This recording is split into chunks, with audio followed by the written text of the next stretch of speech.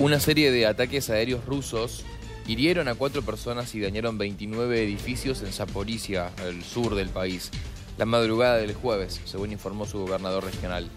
La Policía Nacional de Ucrania dijo que las fuerzas rusas habían utilizado bombas planeadoras en tres ataques a la ciudad, según información preliminar. Zaporizhia es un importante centro logístico e industrial. Ha sido bombardeado por bombas guiadas rusas en las últimas semanas.